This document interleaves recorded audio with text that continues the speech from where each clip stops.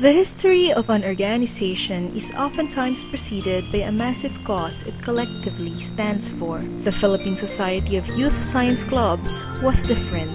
25 teenagers who were finalists at the National Science Fair and Quiz in 1971 thought they would like to bond themselves and create a lasting friendship of some sort. Little did these young science enthusiasts realize that this proverbial seed would become the impetus of one of the largest networks of youth organizations with a noble cause to make a difference in the field of science, technology, education, environment, and youth development. What events brought this change?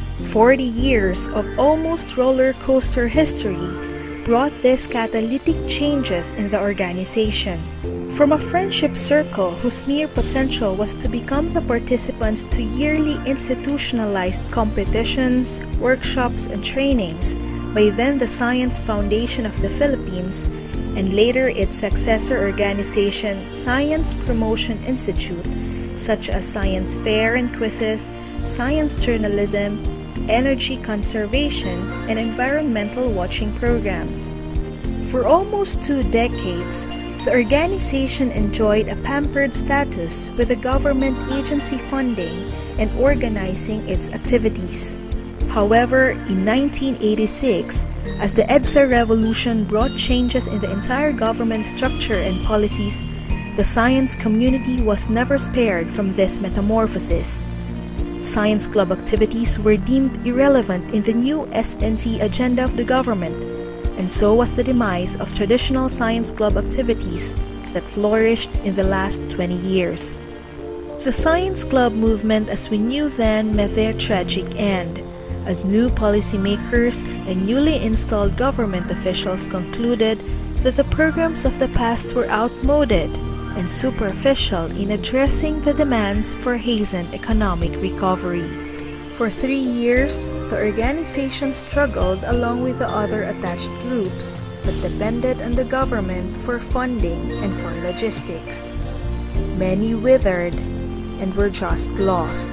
But the PSYSC fought for its life, and in so doing, it clarified for the first time since its inception its vision, mission, and reason for being. With fledgling support from private corporations and its influential board of directors at that time, the PSYSC then revived some of the traditional science club activities, starting with a science camp and leadership training. This time it made sure that the program addressed relevant topics and themes that were consistent with the country's thrust for accelerating development. As the government prioritized undergraduate scholarships, postgraduate support for science teachers, and the creation of science high schools, PSYSC took on the mantle of responsibility and spearheaded science club activities that were traditionally held, such as the National Science Club Month starting in 1991. In answer to the growing demands of the grade school students, who used to monopolize bulk of affiliates, the PSYSC created in 1993 the Children's Science Interactive Workshop that exposed young kids and the science club movement. Many other new activities followed, such as basic or beginner's appreciation for science clubbing, Science Congress, which is a teacher training program for science club advisors, CURE, collaborative undertaking to revive the environment. 40 years later, the organization looks back at its history with both satisfaction and pride.